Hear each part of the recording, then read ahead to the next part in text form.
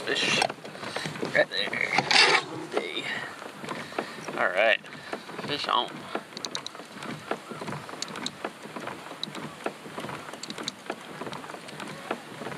Now, I've never fished this lake before for kokanee, but I found that if I just apply the same formula, no matter what lake I go to, I can come away with limits uh, consistently.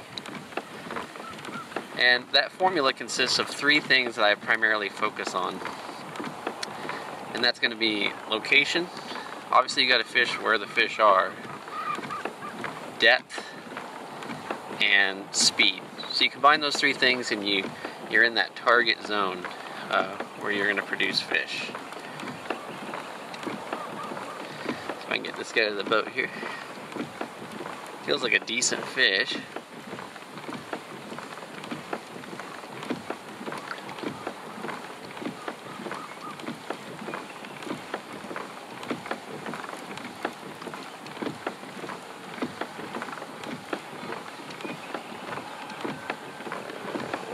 Nice size kokanee.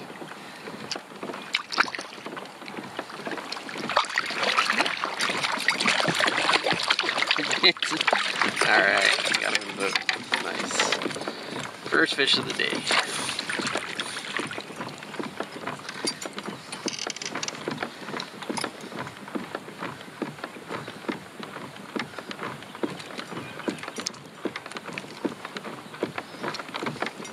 There you go.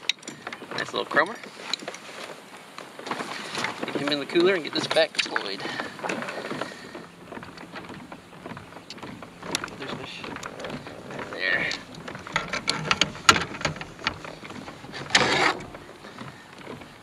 Nice.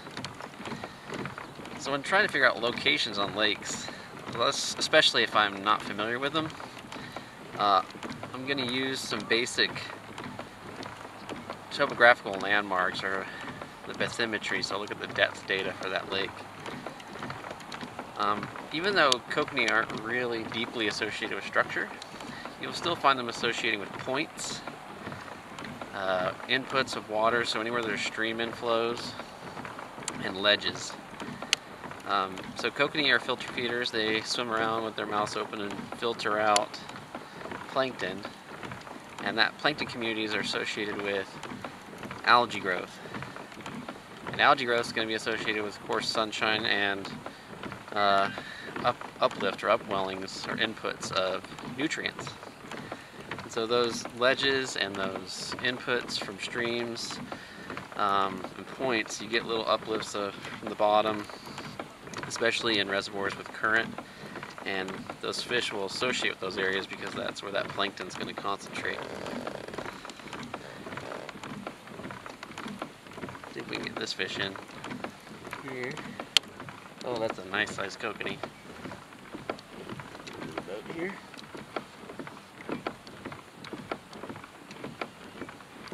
Where's it a rainbow? It's a rainbow.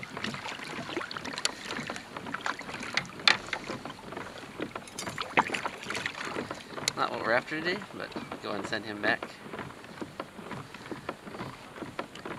Alright, buddy. There you go.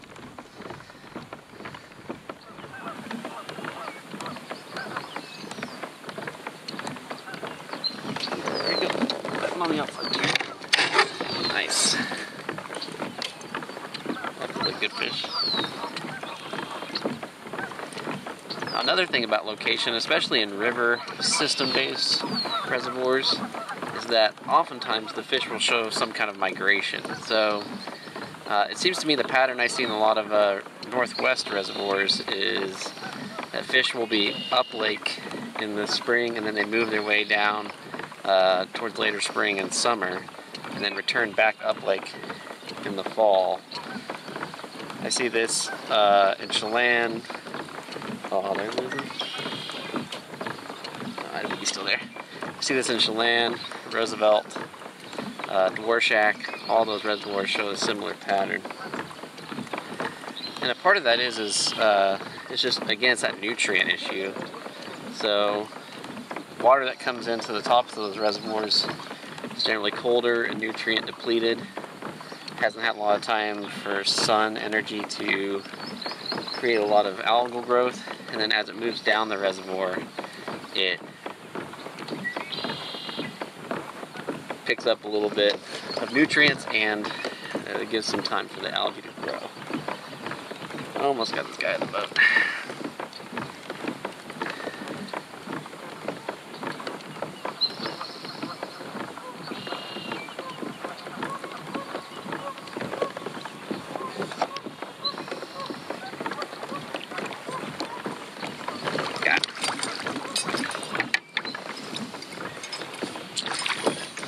Another nice cookie.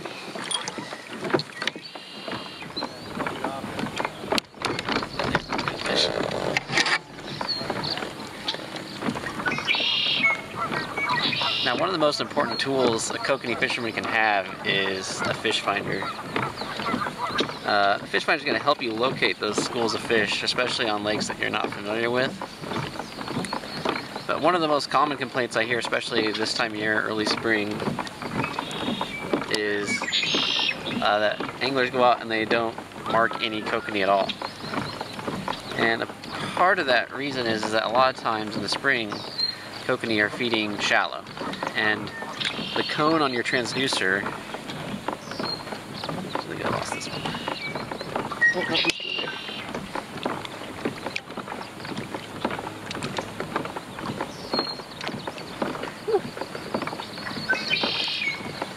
As I was saying, the cone on your transducer is narrow. A good fight.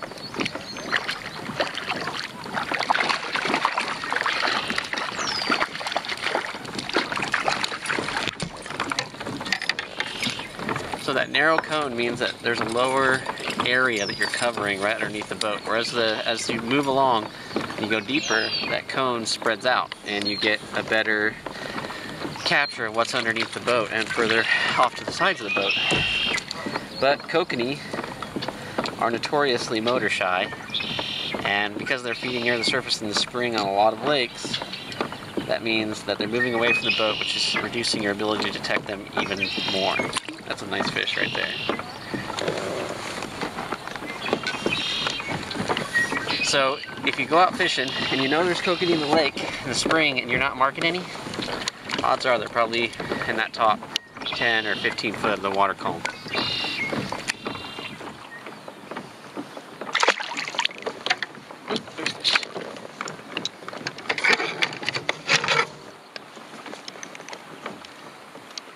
This one feels like good fish. So not only are fish finders pretty critical for helping you locate fish on the lake, uh, but they also are going to help you dial in that depth. And depth is an important component of the kokanee formula. You want to be fishing, you know, five feet above or right at the same level as kokanee uh, that you're marking. You really don't want to be below kokanee. This really feels like a kokanee, it's so swirly.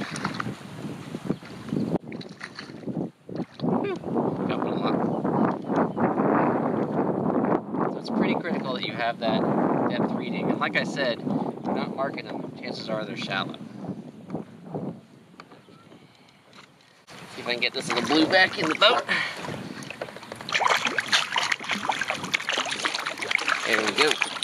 Nice. But also, what depth is going to tell you is where to set your downriggers or how much lead you need to use to get down. And it'll also help you guide your color selection. So, on the visible spectrum of light, which kokanee can see, and they can also see into the ultraviolet, not all wavelengths penetrate equally across all depths. So your reds and pinks actually phase out the first, and then below that, reds and pinks will just look black. Nice kokanee.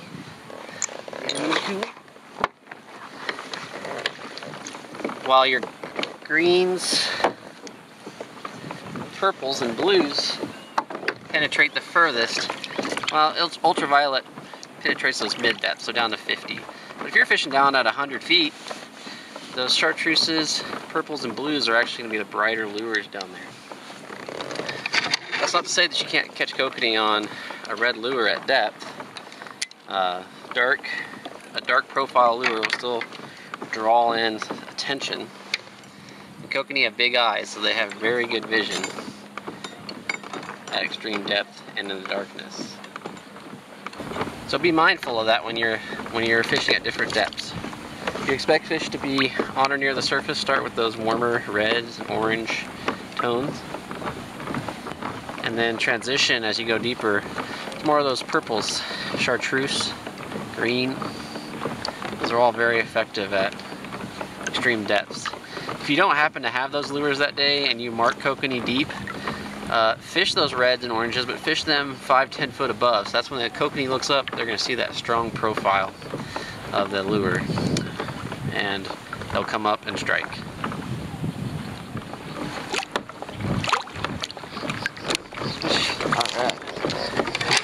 That's a good hit. Always on that turn. It's really important to make those turns a lot. So kokanee are really sensitive to speed. You got to be between one and one and a half miles per hour in general. Um, and they like you to turn a lot, so they like those changes in speed, either slowing up or speeding down. That time the inside rod got hit, so it just was probably following it, and then when it slowed down, it went for it. In general, I'm gonna look for slower speeds in the spring. I got a double going here now. Gotta keep the pressure on so land both these fish.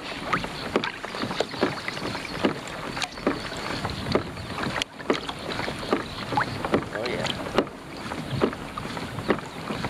Now this one's a rainbow. I'm gonna trash this one for now so I can pull out another fish right here.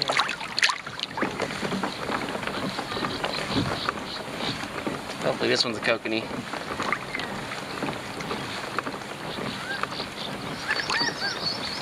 But if that inside rod goes off, it kind of tells you that, that they're looking for a little bit slower speed it slows down on the drop. And then when the outside rods go off more frequently, it tells you they're looking for a little faster speed that day. In general, I'm gonna look for slower speeds in the spring when the water temps are cold and faster speeds as we head into the summer and fall when water temps are warmer. This looks like kokanee. That's a really nice kokanee.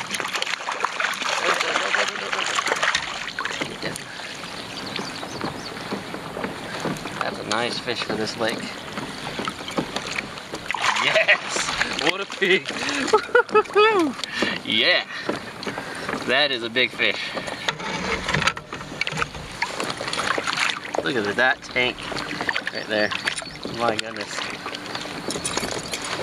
That's probably 17 inches at least. Size of that thing. That's a big kokanee. There. Wow. Beautiful kokanee. Look at look at that fish. Right there. Gorgeous. Take that any day.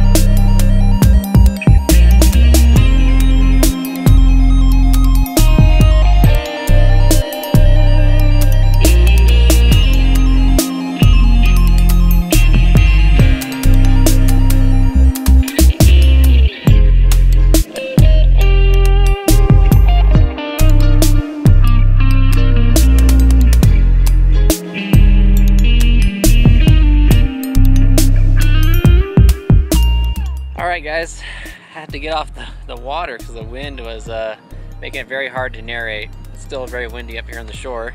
But I did grind out my 10 fish limit. It wasn't necessarily a quick limit today, but that's not how it always goes. I mean, sometimes you get your fast limit, sometimes you gotta work for it. Got 10 nice fish here, biggest being 16 and a half inches. So not too shabby. Um, probably smallest is 12, but a good haul for the day. You definitely see these are some quality size kokanee.